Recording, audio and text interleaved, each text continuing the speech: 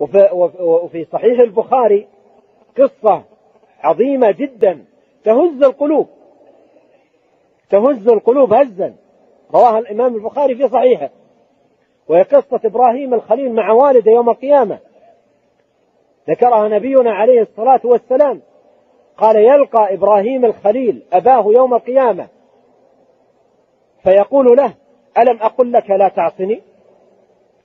فيقول والده الآن لا أعصيك. يقول والده الآن لا أعصيك. ثم يقول إبراهيم الخليل خليل الرحمن يقول يا رب ألم تعدني ألا تخزني يوم يبعثون؟ ألم تعدني ألا تخزني يوم يبعثون؟ وأي خزي أخزى من أبي الأبعد؟ فيقول الله تبارك وتعالى إني حرمت الجنة على الكافرين. هذا جواب الله لإبراهيم. ثم يقول له يقول الله لإبراهيم انظر. فيلتفت وإذا والده صار على هيئة ذيخ. على هيئة ذيخ الذيخ ذكر الضباع ملطخ بدمه. قال فيؤخذ بقوائمه ويطرح في النار.